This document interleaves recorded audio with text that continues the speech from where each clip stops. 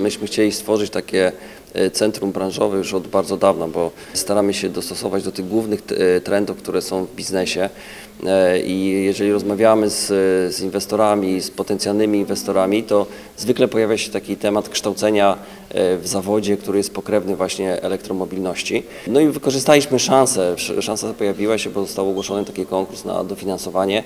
W ciągu miesiąca przygotowaliśmy ten e, projekt. E, To karkołomne przedsięwzięcie, no ale udało się z sukcesem. E, To finansowanie zostało e, przyznane. W związku z tym no po prostu już e, ruszamy i to bardzo ważne jest przedsięwzięcie, dlatego że w ramach tego przedsięwzięcia będą kształceni fachowcy oraz e, dokształcani fachowcy w zakresie obsługi samochodów elektrycznych, baterii, podstawy elektromobilności.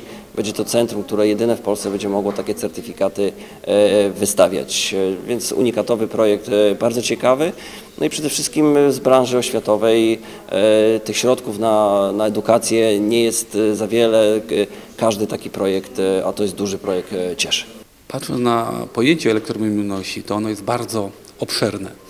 Więc łączy, tak jak tu było powiedziane, technika samochodowego, technika mechatronika i te specjalności są kształcone zarówno na, w szkolnictwie na poziomie szkół średnich, ale również na Politechnice Opolskiej, więc myślę, że e, w za- w zakresie uczniów to będzie uzupełnienie. Natomiast elementem rozwojowym to jest to, co było powiedziane, że będziemy szkolić osoby już pracujące w przemyśle, a przemysł e, elektromobilność to jest znowu pojęcie obszerne, od automatyki po elektry, elektronikę, kwestie elektryczne, e, budowy baterii.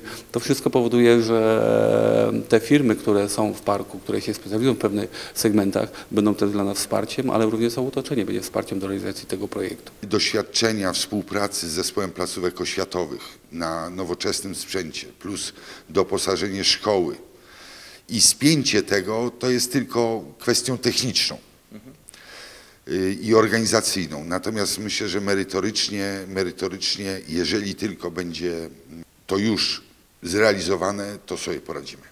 I wprowadzimy do procesu nauczania, do podstawy programowej, bo możemy ją modyfikować nawet na poziomie 20%.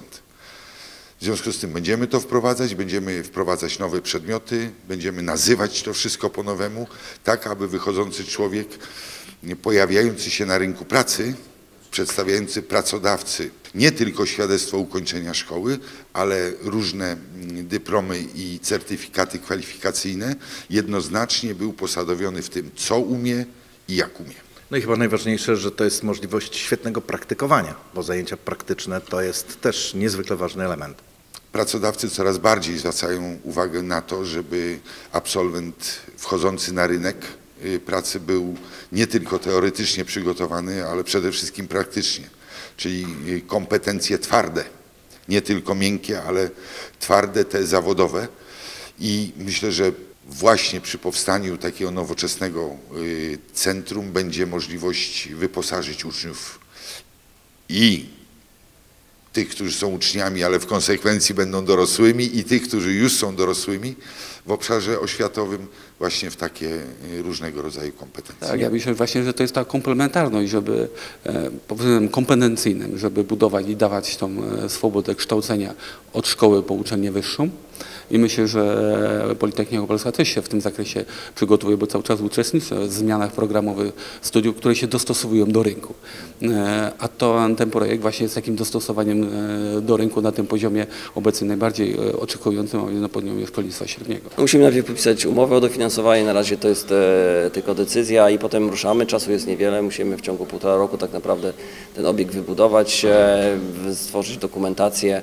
E, On powstanie przy placówkach e, przy ulicy Torowej w Centrum Kształcenia Praktycznego, e, gdzie jest już wyznaczone miejsce, no a za chwilę mam nadzieję ruszy tam ta inwestycja.